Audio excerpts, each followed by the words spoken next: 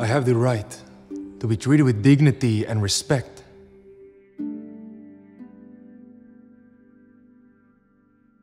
I have the right to report what happened to me and to feel safe.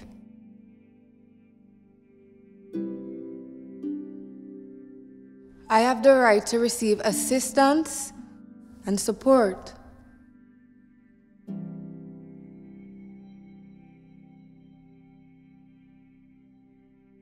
I have the right to decide if I want to be part of any investigation and to receive information on my case.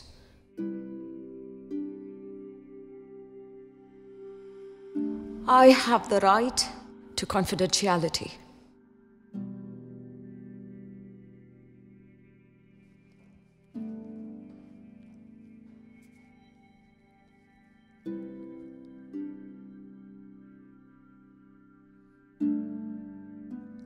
But I also need assistance.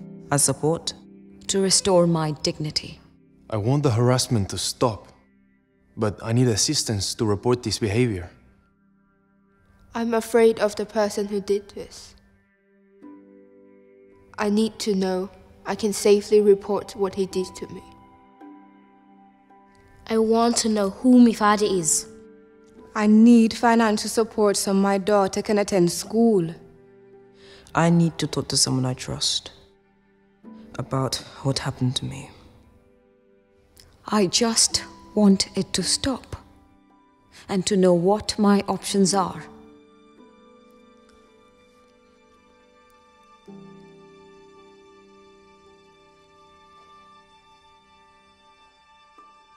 I have the right.